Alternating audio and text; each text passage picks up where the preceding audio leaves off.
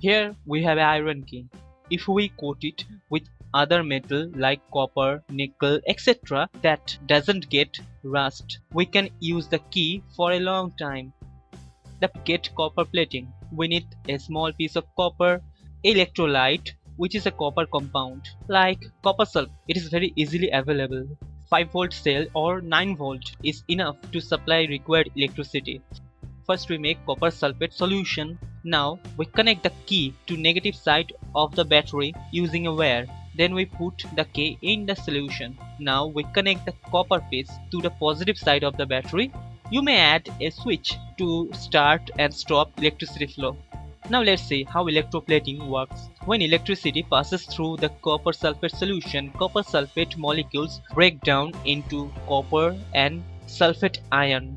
Now copper ion which is Cu++ gets attracted to the negative electrode. Here the negative electrode is the key then copper ions receive electrons from there and it turns into neutral copper atoms.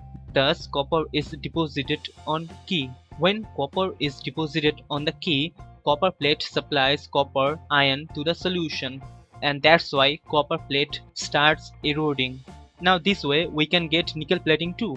To get nickel plating on a key we use piece of nickel instead of piece of copper as positive electrode and we use a nickel compound as electrolyte like nickel chloride or nickel sulfate.